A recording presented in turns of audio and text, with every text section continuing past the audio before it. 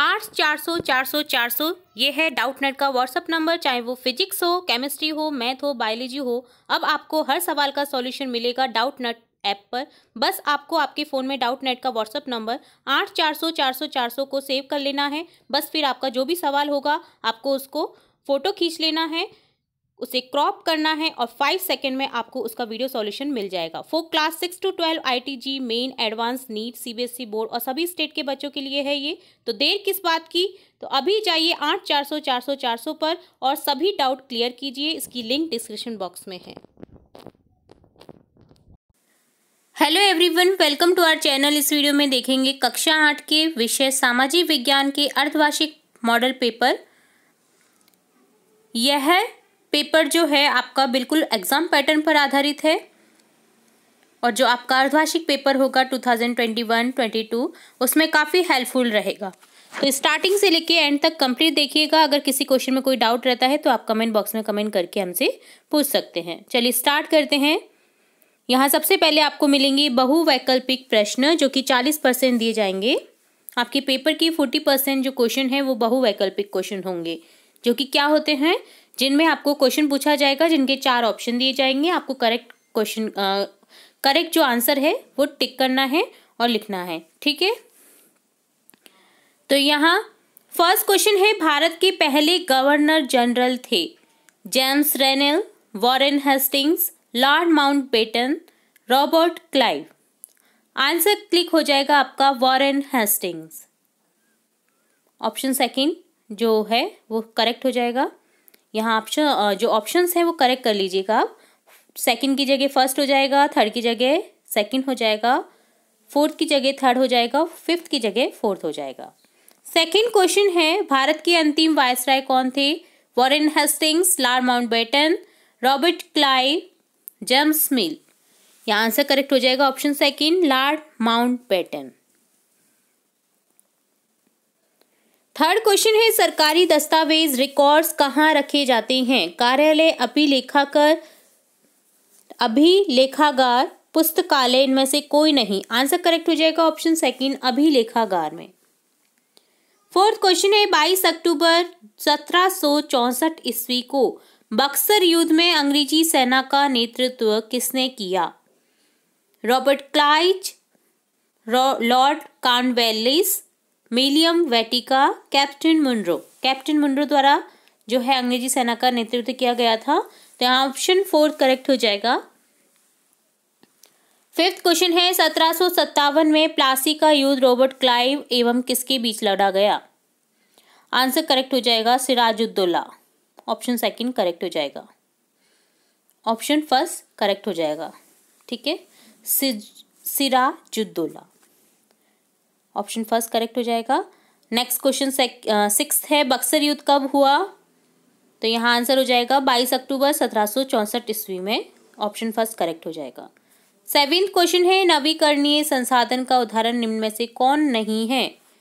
सौर ऊर्जा, पवन ऊर्जा, कोयला बायोगैस यहाँ आंसर हो जाएगा ऑप्शन थर्ड, कोयला। एर्थ है, जल ग्रह किसे कहा जाता है? पृथ्वी, मंगल, शुक्र, बुध। आंसर करेक्ट हो जाएगा ऑप्शन फ़र्स्ट, पृथ्वी। नाइन्थ क्वेश्चन है, भारत में शिक्षा का अधिकार कानून कब से लागू हो गया? आंसर हो जाएगा एक अप्रैल 2010 को। ऑप्शन सेकंड करेक्ट हो जाएगा। नेक्स्ट क्वेश्चन है, टेंथ क्वेश्चन, संविधान के निर्माण में कितना समय लगा था?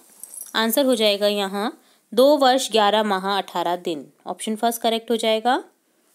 इलेवेंथ क्वेश्चन है, हमारे संविधान की मुख्य विशेषता है। आंसर होगा, समाजवाद, पंथ, निरपेक्ष, लोकतंत्रात्मक और गणराज्य। हमारा जो संविधान है, हमारा जो भारत देश है, लोकतंत्रात्मक देश है, पंथ धर्म निरपेक्ष, पंथ धर्म निरपेक्ष, पंथ निरपेक्ष, ठीक है, गणराज्य है।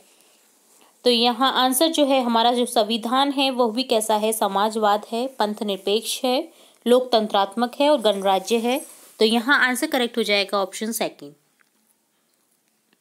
ट्वेल्व क्वेश्चन है, शिक्षा किस सूची का विषय है? संघ, राज्य संवर्ती केंद्रीय. आंसर करेक्ट हो जाएगा संवर्ती ऑप्शन थर्ड करेक्ट हो जाएगा. थर्टीन क्वेश्चन है, भारतीय संघ का सर्वोच्च पद है. राष्ट्रपति, मुख्य न्यायाधीश, प्रधानमंत्री, सेनाध्यक्ष. जो भारतीय संघ है, उसका सर्वोच्च पद होता है राष्ट्रपति. ऑप्शन फ़र्स्ट करेक्ट हो जाएगा। नेक्स्ट क्वेश्चन फोर्टीन है, राष्ट्रपति का काल, कार्यकाल होता है, कितने वर्षों का होता है राष्ट्रपति काल? पाँच वर्षों का। तो यहाँ ऑप्शन सेकंड करेक्ट हो जाएगा।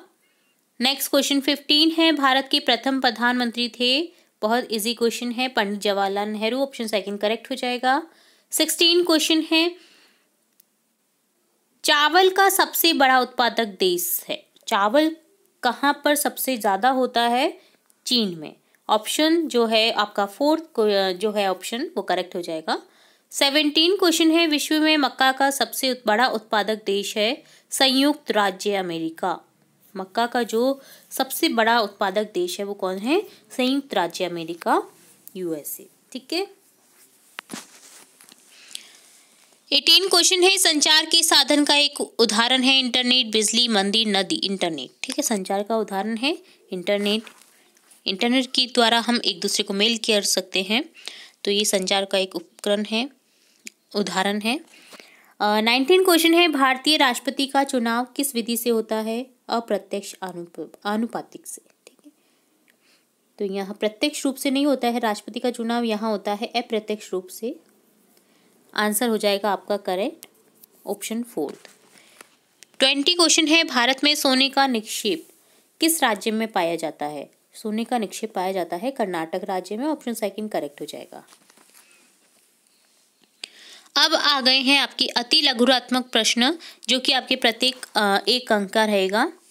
ट्वेंटी वन क्वेश्चन है, भारत में पुर्तगाली ठिकाना कहाँ था? आंसर हो जाएगा, भारत में पुर्तगाली ठिकाना गोवा में था। ट्वेंटी टू क्वेश्चन है, बंगाल में नील विद्रोह कब हुआ? सन अठारह सौ उनसठ में एटीन फिफ्टी नाइन में ट्वेंटी थर्ड क्वेश्चन है, बिरसा मुंडा के अनुयायी। दो अन्य जनजातीय समूह के लिखिए, के नाम लिखिए। तो यहाँ दो अन्य जनजाति समूह के नाम हैं, Santhal, Oraon. Twenty four question है, भारत में कितनी स्तरीय शासन व्यवस्था है? त्रिस्तरीय शासन व्यवस्था है। ट्वेंटी फिफ्थ क्वेश्चन है, राजस्थान में सबसे कम साक्षरता वाला जिला कौन सा है? सबसे कम साक्षरता वाला जिला है राजस्थान में जालोर अब देखते हैं लघुत्रात्मक प्रश्न 26 से 31 प्रत्येक दो अंक का है। बत्तीसवा जो क्वेश्चन है, वो होगा आपका थर्ड अंक, तीन अंक का। ट्वेंटी सिक्स क्वेश्चन है, राजस्थान की वस्त्र नगरी किसे कहा जाता है और क्यों? आंसर लिखेंगे, भीलवाड़ा को राजस्थान की विस्तृत नगरी कहा जाता है, क्योंकि वर्तमान में भीलवाड़ा राजस्थान का प्रमुख वस्त्र उत्पादक क्षेत्र है, इसलिए इसे राजस्थान का मैनचेस्टर भी कहा जाता है। ट्वेंटी सेवन क्वेश्चन है, राजस्थान के प्रमुख पर्यटन स्थलों को कितने भागों में बांटा गया है? तो यहाँ तीन भागों में बांटा गया है पर्यटन स्थलों को, ऐतिहासिक, भौगोलिक और धार्मिक। एक इतिहास की दृष्टि से हैं, एक भूगोल की दृष्टि से हैं, जैसे जल, नदियाँ, तालाब, बावड़ी, और एक है धार्मिक दृष्टि से। धार्मिक जो स्थल हैं, धार्मिक जो सभी मंदिर वगैरह आते हैं, वो सभी धार्मिक स्थलों में आ जाते हैं। जैसे पुष्कर मंदिर है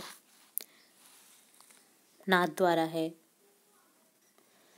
ट्वेंटी एट क्वेश्चन है, पाँच मानव निर्मित संसाधनों की सूची बनाइए, जिन्हें आप अपने चारों ओर देख सकते हैं। तो यहाँ आंसर हो जाएगा, पाँच मानव निर्मित संसाधन हैं। वाहन, पुल, सड़क, मशीनें, रेलवे। मानव निर्मित हैं ये सभी।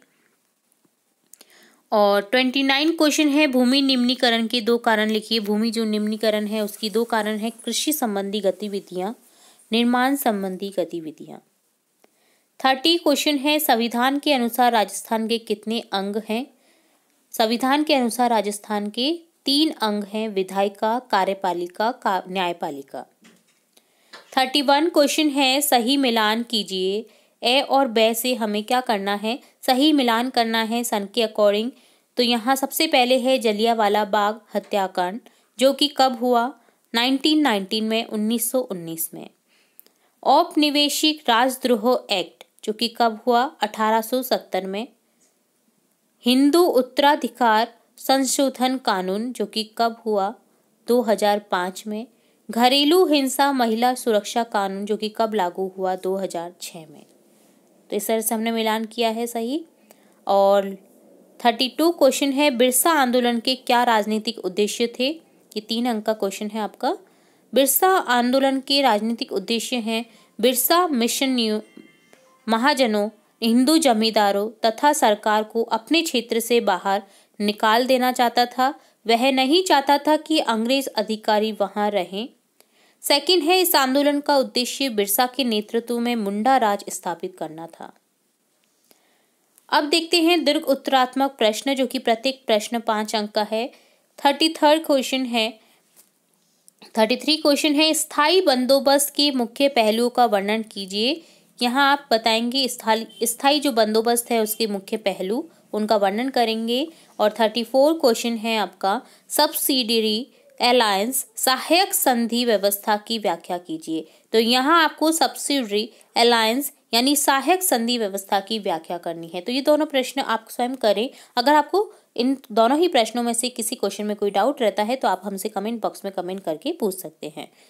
तो ये था आपका कक्षा आठ के विषय सामाजिक विज्ञान का कंप्लीट मॉडल पेपर जो कि आपके बिल्कुल एग्ज़ाम पैटर्न पर आधारित है। उम्मीद है आपको ये क्वेश्चन समझ आए होंगे, समझे होंगे।